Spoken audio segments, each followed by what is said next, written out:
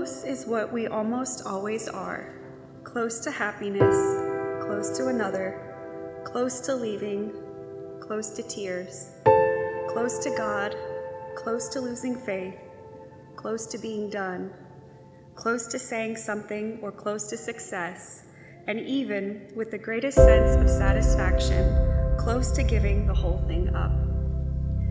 Our human essence lies not in arrival, but in being almost there. We are creatures who are on the way, our journey a series of impending, anticipated. Oh, what can I turn? Oh, again. Oh, I see. Oh.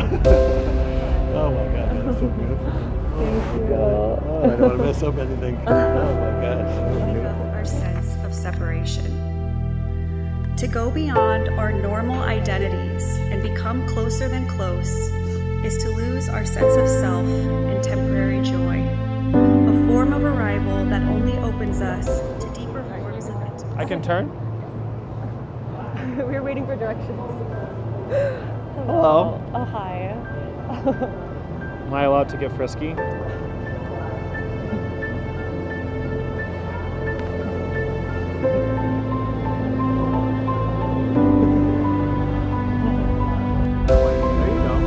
Inevitable loss that the vulnerability of being close will bring. Human beings do not find their essence through fulfillment or eventual arrival, but by staying close to the way they like to travel, to the way they hold the conversation between the ground on which they stand and the horizon to which they go. We are, in effect, always close, always close to the ultimate secret.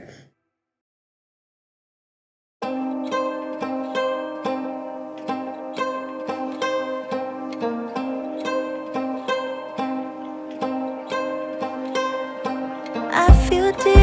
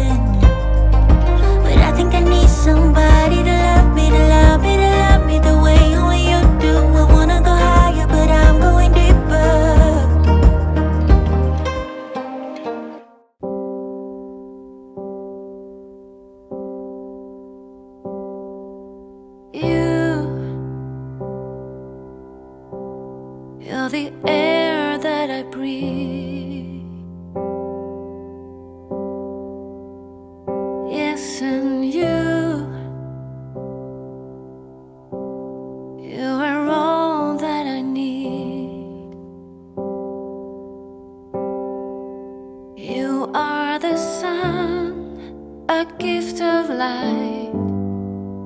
You are the moon, my comfort at night. You are the water that keeps me alive. You are the ground on which I stand.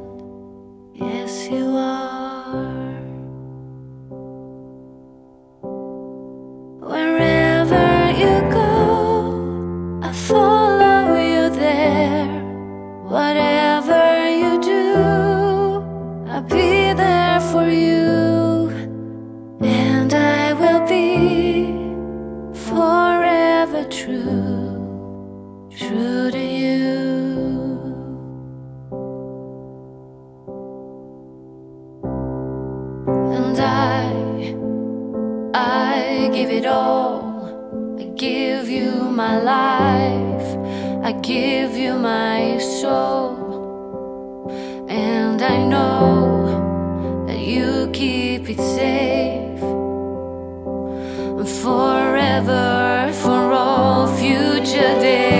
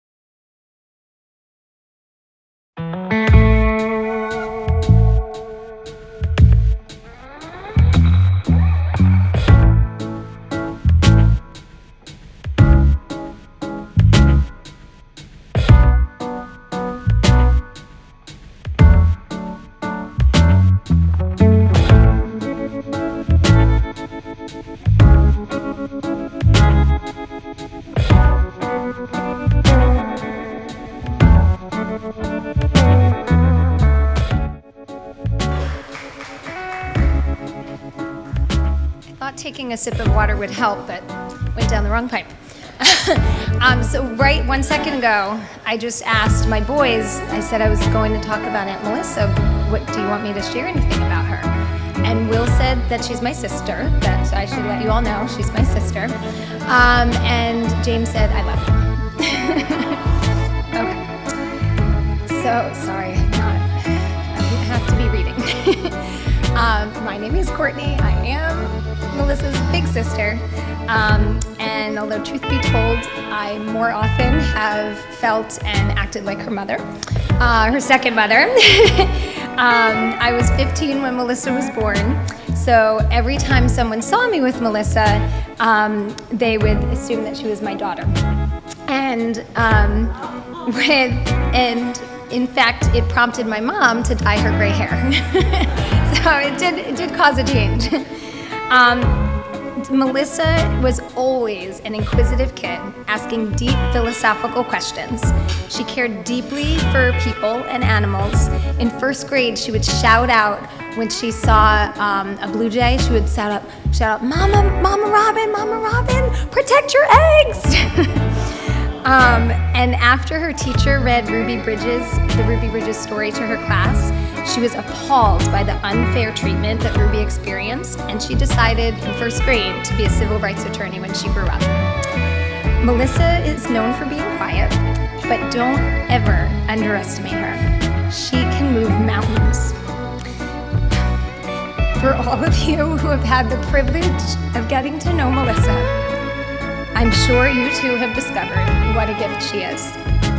She may be quiet in some settings, she can surely win an argument with her passion, clear reasoning, and eloquent intellectual speech.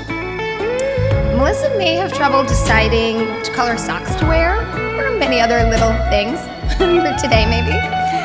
Um, but she, but when it comes down to the more important things of life, in life and aspirations, she's incredibly bold, brave, and inspiring, and she never gives up. When she was the Dewdrop Princess in the Nutcracker in high school, her pointe shoe came off during a performance, and it didn't slow her down a bit. She continued dancing straight to the end. Um, also, while in high school, she trekked off to Tanzania to travel, learn, and work on projects to help residents in the towns that they were visiting. No offense to Melissa, but when you were um, when you went to the pre-Tanzania camping and hiking trip in the Berkshires, we were pretty sure that you would decide not to go to Tanzania on your trip, and instead you ended up ahead of all the boys, and they said if you're that fast, you could carry their back you could carry their backpacks too, or our backpacks too. at college at Wellesley, she studied the simple language of Swahili and then she traveled and studied to Morocco during one of her extended winter breaks and was accepted to Oxford University for a study abroad year. While there, although having zero experience, she decided to join the crew team. Um, getting up at the crack of dawn and walking mostly in the dark far away to practice each morning. University of Michigan Law School was where she met Russell a connection that ultimately would bring all of us here together, a union of family and friends. Melissa and Russell were good friends before they fell in love, as we heard earlier today. Um, a love so strong that Russell traveled to the other side of the world to Tanzania, where Melissa had returned this time to an intern at an international court. After graduating from law school, Russell and Melissa moved to New York City, where she began to work for the NYCLU living out her first grade dream to help others who were less fortunate through the law. More important than all of these accomplishments that Melissa has achieved is who she is as a person. A kind-hearted, passionate woman who is ready to change the world. What a perfect match for Russell, who is equally as passionate, loves a good debate, and has so much love to share with Melissa and all those around him. The love between Melissa and Russell is easy to see and makes my big sister heart happy. What also melts my heart is how much my boys adore their Uncle Russell. That was definitely the way to steal my heart, Russell.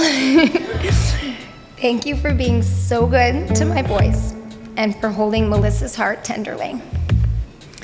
I wish you a lifetime of happiness, but more importantly, the wisdom to lean on each other during all those hard times and to support each other, to experience life together on this wonderful, wild journey. Cheers.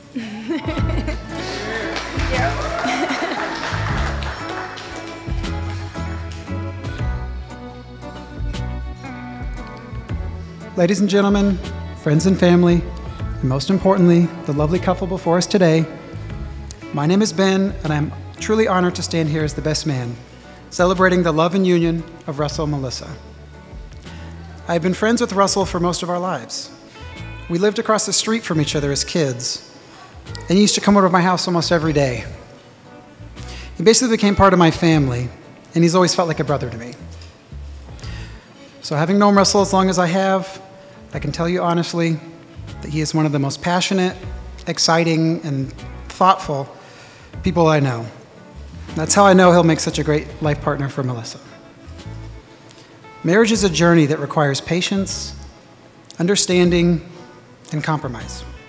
It's about supporting each other's dreams and aspirations and finding strength in, uh, in another during the stormiest of times. Melissa and Russell, as you navigate this path together, always remember to communicate openly, listen with empathy, and cherish the little moments that make your bond stronger. I know you two are going to have a long and happy life together. You're a perfect couple. And I can't wait to see all the amazing things you'll accomplish together. Please join me in raising a glass to the newlyweds, to love, to friendship, and an extraordinary future together. Cheers.